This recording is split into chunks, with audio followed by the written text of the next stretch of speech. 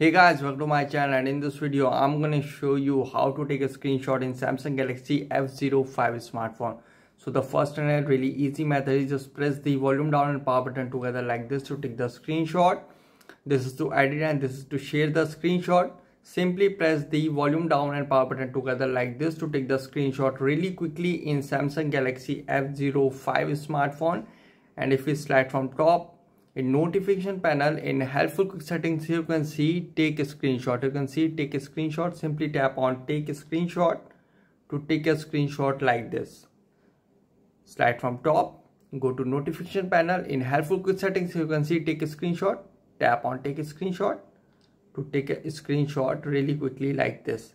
And if you want to take a long screenshot here i will show you how to take it. Okay now press the go back and press the volume down and power button together. And now here you can see scroll down icon. Tap on scroll down icon. Tap it until you want to take the long screenshot. As you can see already at the bottom of the page.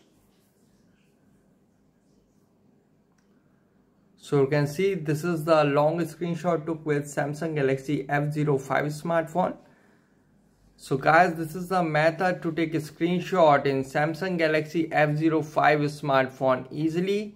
Guys, thanks for watching. If you have any query related to this video, let me know in comment section below. Please like, share, subscribe and click on bell icon for the latest updates.